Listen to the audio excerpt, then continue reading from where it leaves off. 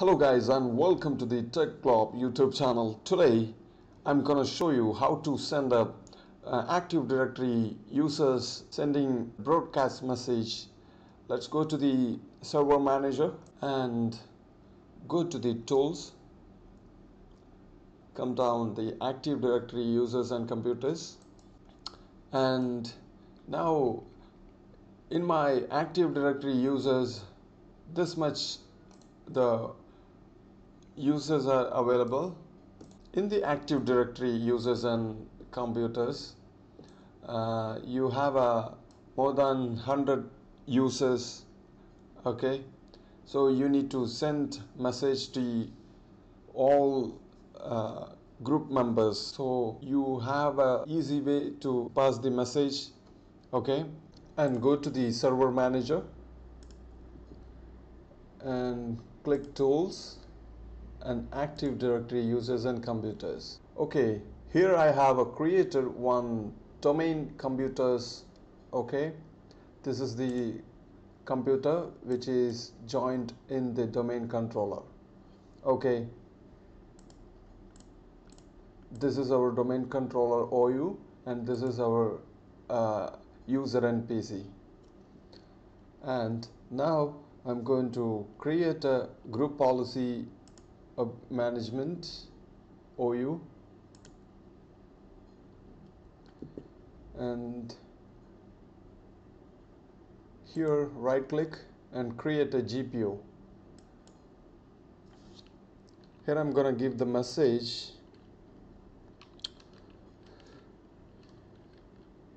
domain user users message okay. And right click and edit.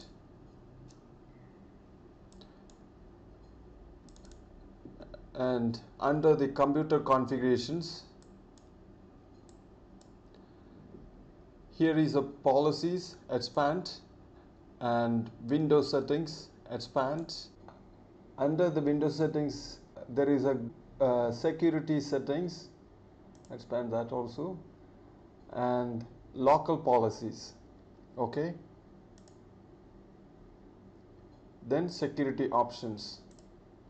Here uh, you can see there is a interactive logon message title for users attempting to log on okay? Double click and define this policy settings. I'm going to give the title when the the user PC logon start they can see on the screen the title and message. Here I'm going to type message from IT administrator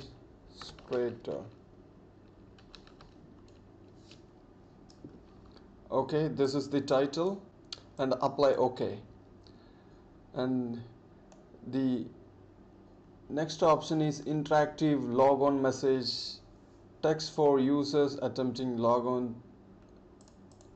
Then click here and define this policy settings in the template. Okay I'm going to give the message like this.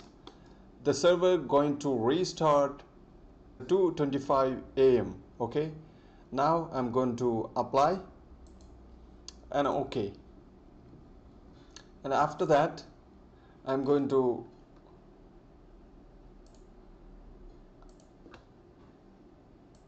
I'm going to update the policy. Go to run command cmd and type here gp update slash force once the group policy updation complete you can go to the windows 10 machines uh, which is joined in the windows server machine okay?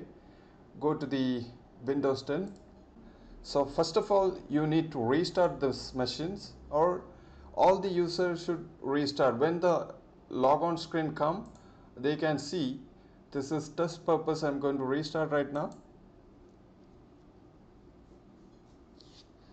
and after the restart you can see on the logon screen uh, we have a set message for the uh, Active Directory users logon screen and when we open the logon screen you can see here uh, the message from IT administrator the server going to restart 220 I think this is the previous message. I have uh, enter in the message box. So the AM is not visible here. The next restart you can see. And this is the way how to uh, set the logon screen message. Thank you for watching this video. Dear all please like and share subscribe the channel. Uh, I will upload new tricks and tips on the Tech Globe channel. Thank you for watching. Have a nice day